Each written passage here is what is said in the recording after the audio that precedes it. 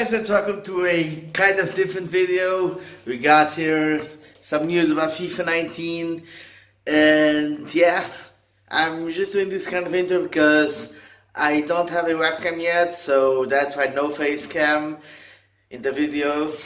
So excuse me for that. Coming very soon, I'll try to buy one but for now, gotta do without. So yeah guys, I hope you enjoyed this video and yeah. Let's go. Hey yo guys, it's Strong Bean TV, even though I'm not strong and I'm not a bean. So today I got something a little bit different for you, it's like a news video. And EA just dropped some major news for uh, Ultimate Team on FIFA 19 that's coming out on the 25th of September I think. And they dropped 10 new icons and some of them are, are unbelievable. And yeah, they dropped it like during the FIFA E World Cup that's going on. Uh, congratulations to Dosari for winning. Got the win for Saudi Arabia. Congratulations for that. He's the world champion of FIFA right now. And yeah, so like I said, they dropped some major news like new modes, Ultimate Team, new like Champions League stuff, and they dropped icons, of course. And starting off, got Makelele, got the French CDM Beast. He made appearances for like Real Madrid, Chelsea, PSG, you name it. Are those good stats? I think yes. Got them 80 pace for CDMs, very good. 88 defending, 88 physical, very nice, very nice card. I hope I'll manage to get him. If not, maybe another one. Got one coming that I'll do everything to get it. So next one, got Clarence Seedorf, Dutch Beast, played for Ajax, Real Madrid, Inter, uh, AC Milan, and yeah, an overall beast, overall good stats, 91 rated cam, very good, looks nice to me. Then we got the Real Madrid legend with over 500 appearances for Real Madrid, Raul. 92 seems fair, 88 pace, 93 92 shooting. His card looks amazing, awesome. I'd love to try this one. So let's get right to the next one. We got Fabio Cannavaro, the Italian center back. Of course, I think everybody everybody knows Cannavaro, beast and 95 defending. That's wow, wow. And 85 physical, 80 pace, 80 pace on the center back alone is nice. So yeah, got five barrel. I think um, if I'm if I'm being correct, I think Cannavaro is not the first time that he's a legend in FIFA. I think he's one that's coming back.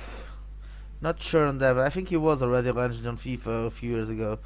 Then got one of the another new one. We got Baggio, 93 rated cam, Italian beast, 86 pace, 84 shooting, 92 passing, 92 dribbling. Overall, amazing card. I mean, look at those stats, guys. That's unbelievable. Then we got five news here. So, can you guess which one I'm excited for? I give you a hint. I'm Portuguese. That's right, guys. Fucking Eusebio is in the game. But first, let's get to this here. I got uh, Frankie Lampard, 90 rated. Seems fair. Gerrard, 91. I agree that Gerrard has like one rating uh, more than Lampard. I've seen some people complain about that, but I think that's totally fair. I think Gerrard is the better player here, and I gotta say they do have like similar stats, but I I gotta give Gerrard it plus one overall.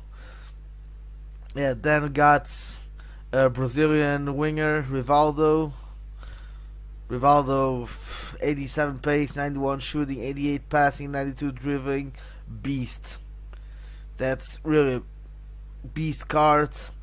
Hope to get him in the pack. Should be worth a lot. But yeah, that we got the, the another Dutch legend, Johan Cruyff, 91 pace, 92 shooting, 91 passing, 94 dribbling.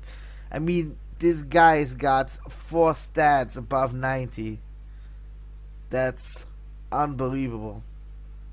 That's crazy. But he deserves it. Johan Cruyff was a fantastic player and 94 rating is deserved.